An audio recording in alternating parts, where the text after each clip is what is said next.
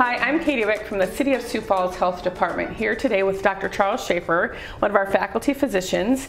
We're talking today about a public health issue, a disease that we've seen a bit of a resurgence of in the last couple of years. We haven't talked about maybe for a long time and, and now we're hearing more about it and that's syphilis. So thanks for joining us today, Dr. Schaefer. Um, Pleasure. Let's, we've, we've heard, why are we hearing so much more about syphilis right now? Well, syphilis has been around for a long time, like probably 500 years. The first documented pretty, pretty certain outbreak of syphilis was in the 1400s, actually. And it was a huge deal until the mid 1940s, early 1940s, when penicillin was discovered, and it was found that penicillin worked great to treat it. And ever since then, ever since World War II era, the syphilis numbers have come down and just kind of been at a low level, uh, with a few exceptions until fairly recently, around, around the year 2000, that started changing and we started seeing more and more cases. And um, now we've seen kind of an explosion of cases in the last couple of years, especially. So that's the reason you're hearing more about it. Um, why that's happening uh, is, is not exactly clear. I think some of, some of it has to do with the pandemic, um, just in that people's behaviors changed a little bit. Uh, there was less routine healthcare going on, uh, for example. Um, but um, so it's not exactly completely understood why it's exploded the way it has. So when we say exploded, we don't just mean a small number of new cases. The explosion is is you know how many fold is it that right. we're seeing in well, South Dakota? Yeah. In South Dakota, you know, I've uh, I've done talks about this for a while with our with our residency at the family medicine residency, and we've always lagged behind the rest of the country as far as syphilis goes. I mean, we've been kind of down here, and the rest of the country is kind of up here. The last 10 years or so, we've caught up gradually. We've increased our numbers significantly, but we didn't ever catch up to the to the rest of the country. Now we have far exceeded the rest of the country as far as um, per capita rates of syphilis, which is pretty scary. Okay, so um, it's been around for a long time, but what exactly is syphilis? Well, it's an infection that tends to be sexually transmitted, not exclusively, but but almost exclusively.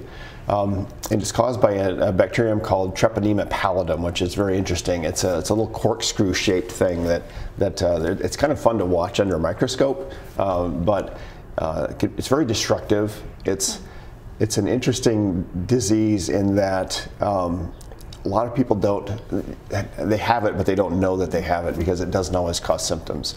It's very much like HIV in that regard, is that you might have symptoms early on, but you might not. And so you can live for years without even knowing that you have it. Okay, so talk about some of the symptoms. If someone would have symptoms, what would those symptoms be?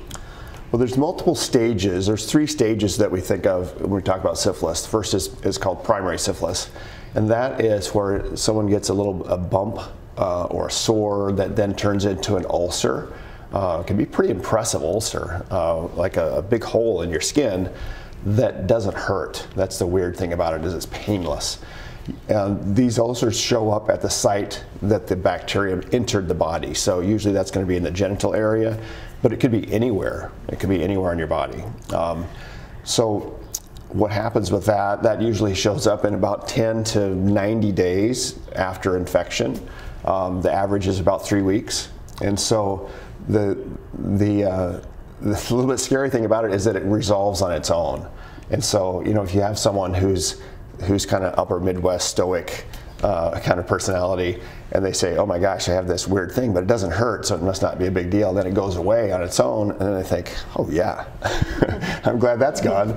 But it's not really gone. It's it's throughout their entire body, uh, causing damage and uh, and being potentially spread to someone else at the same time. So that's what we call primary syphilis.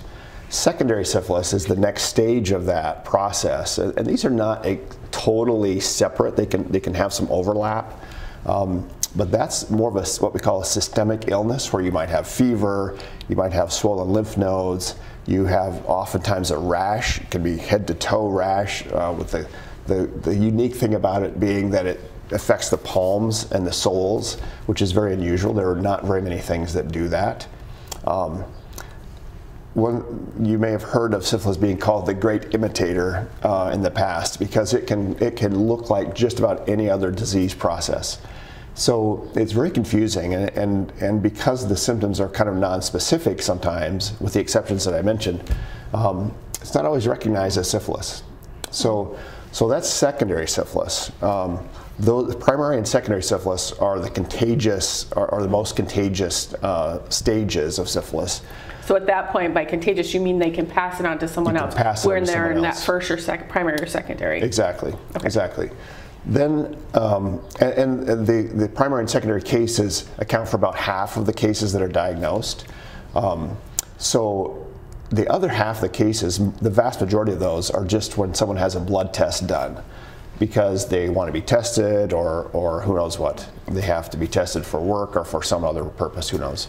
Um, and they have no symptoms. And we call that situation latent syphilis. It means it's the, the bacteria is in your body, it's circulating everywhere, um, but you don't have any symptoms. And so it's just kind of sitting there. Now there's two, there's two segments of latent syphilis. We call it early latent syphilis if, you, if we can prove that you've been infected in the last 12 months. So let's say you had a test for syphilis nine months ago, it was negative, and now you have a positive test. Now, so we can say, well, we know you got it in the last nine months. So in that situation, two things, it's easily treatable at that point, but it also, um, it also is, uh, can be transmitted. It's contagious. So, so you're contagious, can give it to someone else in primary syphilis, secondary syphilis, or what we call early latent syphilis. Then we also have what we call late latent, which means that um, we have a positive blood test, but we can prove that it was more than a year ago that you got this, or we suspect it. Um, or we don't know when you got it, which is not unusual actually. And so then we call, we, we call that syphilis of undetermined um, duration, unknown duration. That situation probably is not contagious. And it's interesting that a lot of people, because you have a painless ulcer uh, to start with that goes away on its own, uh, not everyone gets that big rash that we talked about or other, or other identifiable symptoms. So it's interesting that you could get through the primary and secondary stages without ever recognizing that you've been infected. And, and so you could live that way decades. You could live the rest of your life infected with syphilis.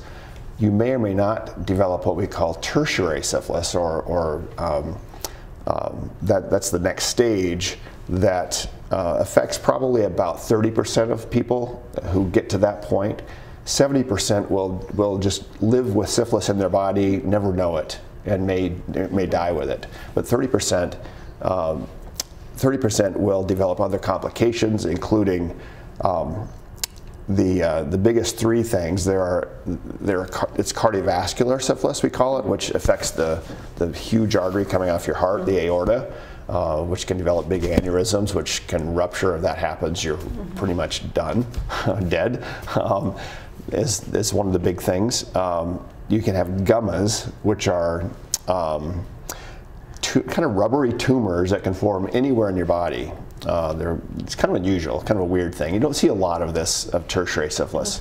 Um, so that's, that's not a big thing that we see. You can have neurologic problems, um, dementia, for example, um, stroke-like situations, uh, things like that. So um, those can arise decades later, uh, never be recognized. Now there's, there's also something called neurosyphilis that affects the, the, the brain and the, the neurologic system. And that can happen at any time, whether it's primary, secondary, or latent or tertiary syphilis. Um, because even though primary syphilis starts out as a, as a sore, a, a very defined sore, it's already a systemic process, meaning the bacteria has already spread throughout your whole body. Uh, wherever the blood goes, these, these bacteria can go. And if it establishes itself in the nervous system, um, that can become a, a huge problem. Uh, and it's very difficult to treat that. It, it's not impossible to treat it, but it's harder to treat than, than the other stages. Okay, so when we come back, we're going to talk a little bit about, we've heard the stages of the syphilis, then we'll talk about who's at risk and how you treat that. I'm Dr. Kathleen Haight with Falls Community Health. Today we'll be talking about a summer health topic, sunscreen. Out here on the prairie, it pays to be quite wary. When the thermometer says hot, you need to think a lot about safety for your skin before you jump right into the pool or your hike or that trip on your bike. Everybody knows when you burn, you can blister, so get some SPF for your grandma and your sister. 50 and above for the people that you love. It might seem extreme, but there's no fun without screen. Welcome back. Uh, we are here again with Dr. Charles Schaefer talking about a disease that's show, shown some resurgence here in the community and in, in, the nation, uh, syphilis. So thanks for joining us uh, again, Dr. Schaefer. So we'll continue with this discussion. Uh, we kind of talked about the different stages of syphilis and, and how that some of that progression goes. Um, in order to get this early, um, talk a little bit about who would be at risk for getting syphilis. Yeah, that's an excellent question. It might be simpler to talk first about who's not at risk, and, and that would be because this is a sexually transmitted illness, that would be anyone who's not having sex, who has sex only with another person who's not infected with syphilis, so what we would call mutually monogamous with an uninfected partner. Um, uh, those would be the people who wouldn't who wouldn't be getting it. So, if the, the highest risk people are those who have multiple partners. Um, men who have sex with men tend to be at highest risk. Um, we, we see it, groups of people who, let's say, um, exchange sex for drugs or money, for example. That's a high risk setting. Um, certain racial groups are at higher risk statistically, and that would be African Americans and also Native Americans, particularly here in South Dakota. Now, that doesn't mean, I mean, none of these things is like if you're a man who has sex with men and you're Native American, for example, you're not going to definitely get syphilis because this is very behavioral based. But statistically, we know that, that particularly in South Dakota, natives are higher risk to have syphilis, as well as blacks throughout the country. Um, it's, it's something that we see. So there are certain groups that are at higher risk, but uh, anyone who's sexually active not with a uh, single person who's uninfected, is at risk potentially.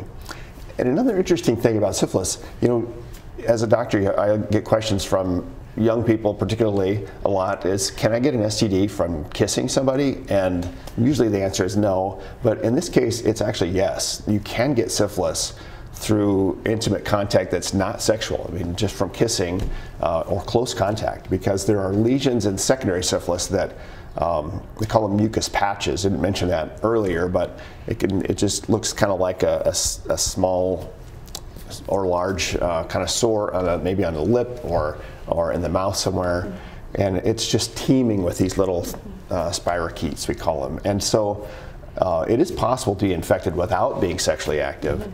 But uh, again, that's it's going to be very uh, limited as far as that goes. Um, and it's almost certainly, almost always rather, uh, a sexually transmitted thing. So, so the, the behaviors that put you at risk for uh, sexually transmitted illnesses are exactly what puts you at risk for syphilis. One thing I didn't mention that I should is that uh, another significant risk factor is people who have sex while under the influence of alcohol or drugs, just because the decision making is, is not good then, and that's a common risk factor as well.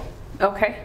So um, we talked about the risk factors. So talk to us about is there anybody else at risk, like in pregnancy or anything like that? Um, would an unborn child be at risk for something like this? Yeah, great question. That you know, pregnancy tends to be sexually transmitted as well, uh, and so the same risk factors uh, are that are there for for STDs are there for pregnancy. So. Um, they often do travel together, and there's there's a tremendously negative impact on pregnancies if syphilis is there. So, because of that, uh, the routine currently at the moment is uh, for anyone who's pregnant to be tested when they begin their OB care uh, with their family doctor, their obstetrician. Uh, so, at the first visit, at 28 weeks gestation, so about two thirds of the way through, and again at delivery, at the time of delivery, we test for syphilis at all three of those of those junctures. Additionally, we would test if there's in, in, the in between times if there's any reason that that we should test. For example, they've had a sexual encounter with someone who may have had syphilis or or whatever high risk situation there may be. So, so definitely we test because of the huge impact. In the in the old days, um, uh, showing my age a little bit here. Uh, most states had laws that you had to be tested for syphilis before you got married. They don't do that anymore, but because of the tremendous impact of syphilis on a pregnancy, that was that was the reason for that. So, so what happens if we don't detect syphilis in a pregnant woman? Um, then the risk of developing something called congenital syphilis becomes very real. And, and we hadn't had cases of congenital syphilis in South Dakota for a long, long, many years.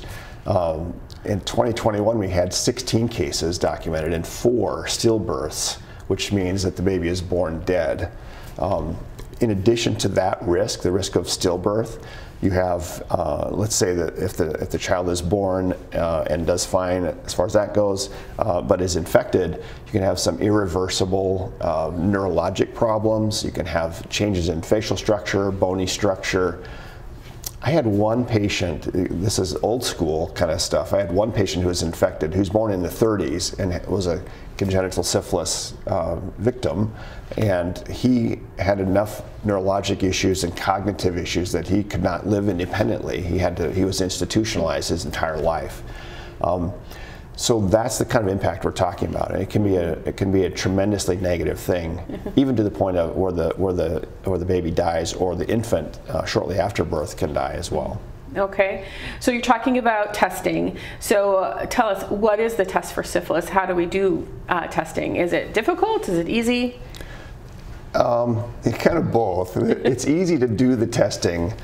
The test results don't always completely make sense. It's, it can be a very kind of sticky, complicated thing to interpret. Uh, and when that happens, because of the tremendously negative impact of, of untreated syphilis on someone, we say, well, not exactly sure what's going on here, but let's treat them to be certain that we don't miss something. So syphilis can be, in a situation like this in South Dakota where we have a lot of syphilis right now, um, you can you can have someone who comes in with a classic presentation, that painless ulcer we talked about, painless genital ulcer typically, or they have a classic rash on their palms that includes their palms and soles. You can say with pretty good certainty that that is a syphilis mm -hmm. case. Now we still do the tests, uh, which includes it's a blood test basically, and um, there are two different kinds of tests. Uh, and you need to do both kinds of tests because uh, the the only real definitive test was there are there are actually two of those. This gets kind of complicated. Yeah. uh, the old school definitive test was what we call dark field microscopy, where where you took the lesion, the patient with the lesion, and you just scrape that with like, like a, say a gauze. And you take that sample and you put it under a, a special microscope, and you can actually see the little treponemes, the the little corkscrew organisms um, under the microscope. It's a tricky technique to do not many people do that anymore. There's a there's a pretty new uh, high tech, really. I mean, this is kind of the how we test for a lot of things now, a nucleic acid mm-hmm. test, but there's not one that's commercially available, and so. So that really old and the really new things are not really available anymore. So we have what, what is available in the middle, mm-hmm. which is uh, there's a section of tests or a, a, type of test called treponemal test, which it's an antibody test, so a test for the antibody that your body makes to fight the infection that it, that it mm -hmm. detects. Um, and those antibodies are against specifically that, those syphilis germs, basically, mm -hmm. to put it in simple terms. Then we have a, a group of tests called non-treponemal tests, and those are non-specific tests, meaning that they can be positive for other reasons, like when mm -hmm. someone's pregnant or they have certain other diseases, those tests can be falsely positive. But the nice thing about that is you, there's a number that goes with that test. Um, there's a, a, kind of a technique of, of doing different dilutions to see how, how much antibody excuse me, is in the person's body. Uh, and it helps us understand uh, where they are in the process in terms of have they been treated, have they not been treated, have they been reinfected, for example. Okay. So we, we take all that information, we take the clinical picture, you know, what, what symptoms the patient has, if any, what findings they have on examination, and then um, the treponemal test result, the non-treponemal test result, uh, the titer that goes with that. We look at all those things, and usually, usually you can you can come up with an explanation of where this person is in the process. Okay. So a little bit complicated. So is, how complicated is the treatment then? Is this curable? Is this something that's easily treated? Yeah, it's very easily treated actually, um, which is great because you know, it's uh, it would be really bad if we had yeah. a nasty disease that had no treatment. Uh, but in this case, the treatment is very simple. It's a shot of penicillin mm -hmm. for those early cases that we talked about. Primary syphilis, that's the painless ulcer. Secondary syphilis, which is the could be the rash, could be all these other symptoms um, or that what we call early latent, so someone who's been infected within the last 12 months, if we can know that, we give them one shot of penicillin and they're done. Okay. And, and there has not really been uh, documented resistance to penicillin. Now, um, it gets a little stickier. Uh, let's say it's someone who we, who we don't know when they were infected, could have been years ago, or they have what we call late latent. Then we give them three shots of penicillin a week apart. And so um, that, and that is also very effective. A couple problems. One is that some people are truly allergic to penicillin. A lot of people that think they're allergic to penicillin aren't actually allergic. They had allergic, they had some other kind of reaction, maybe when they were a child. But if someone is truly allergic, like a life-threatening reaction, then we kind of don't want to give them penicillin. There are alternatives that can be used that are not as effective uh, in treating syphilis sometimes, uh, let's say a pregnant woman comes in and is and is penicillin allergic, we will actually do what we call desensitization, where probably they'd go see an allergist and give them tiny amounts of penicillin, just gradually building up to where they don't react to it, uh, because that's the only effective treatment for, for pregnant women. Um, the treatment for neurosyphilis, which is, is the, uh, infect, that infection around the brain, is even more complicated. You can't just give a shot. Well, you can, but you have to do it every day for a couple of weeks. Mm -hmm. That's not very fun. So typically how that is done is people are admitted to the hospital, they get IV penicillin every four hours for 10 to 14 days, which is uh, kind of a big deal.